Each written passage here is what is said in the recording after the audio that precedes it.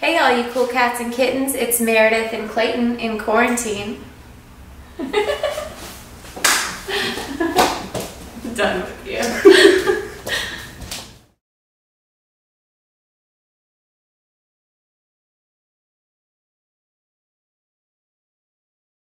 Alright guys, in this video I'm going to show you how to do a 3D rendered tiger in your living room and then shoot a video or a photo uh, of you and your girlfriend or just you yourself petting the tiger.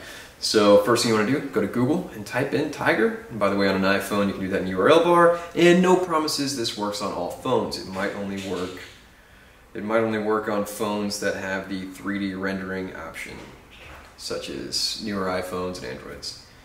Alright, but anyhow, you see there, I'm just on Google, I search Tiger. Now, view in 3D is what you want. Alright, now it's going to ask me to walk around the room. Wow, that's a big tiger.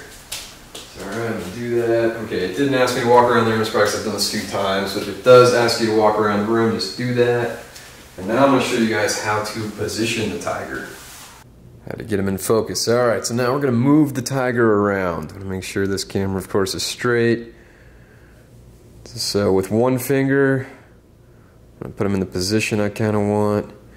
With two fingers, I can shrink him. And with two fingers, I can also twist him so that he's facing, you know, wherever we want him to face, basically.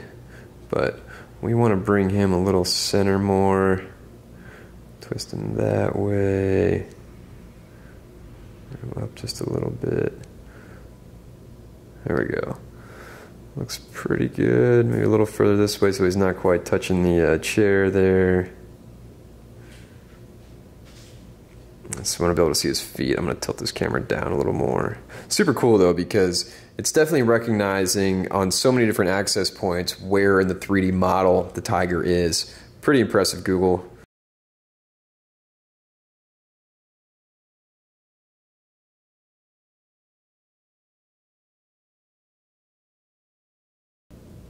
All right, so we're looking good so far. All right, and I'm gonna cue my awesome actress Meredith and go. She's supposed to look really surprised that there's a tiger there. Um, yeah, so you're actually right by him, babe, so go ahead and crouch a little bit. That's Dylan back there. All right, and uh, so right now, babe, your nose is like right at the top of the tiger. So no, that was it was actually good. You go down a little bit, stop right there, up a little higher. Perfect. Okay. Go ahead and stroke the tiger.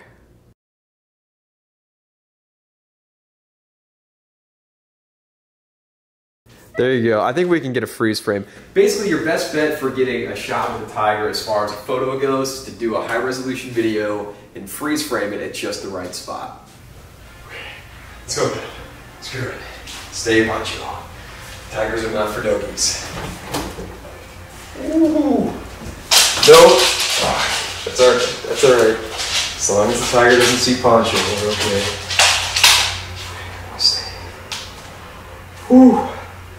Okay. Ready? Woo! The freaking tiger! Oh yeah. I'm petting the tiger.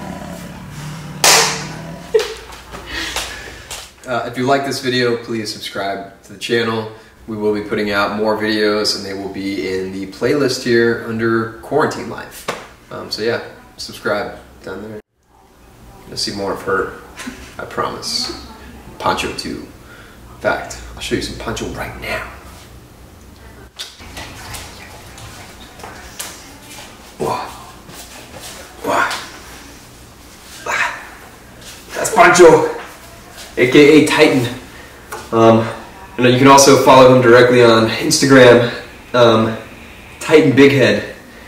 He got big head. He's a good boy. Mwah, mwah, mwah, mwah. Boy.